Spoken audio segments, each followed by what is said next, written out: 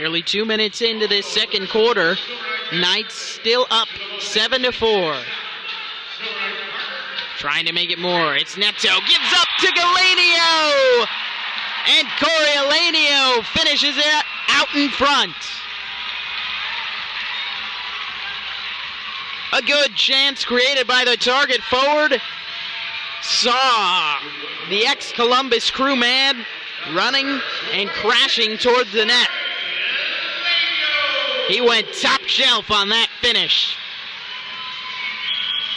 Neto does well on his pass off the boards. And Corey able to guide that ball.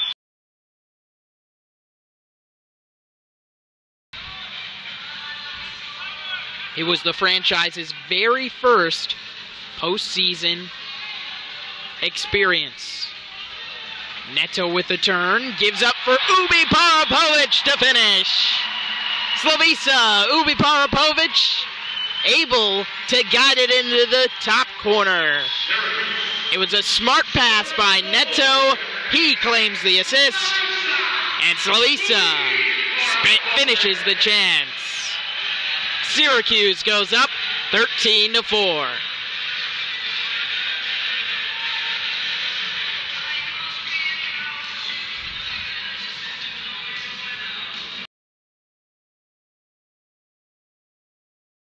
Win it back.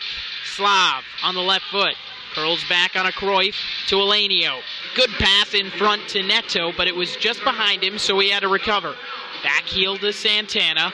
In front for Elenio. Deflected goal!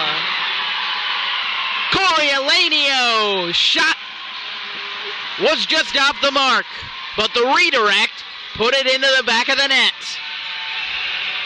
That's a three point finish, and the Knights lead by 16.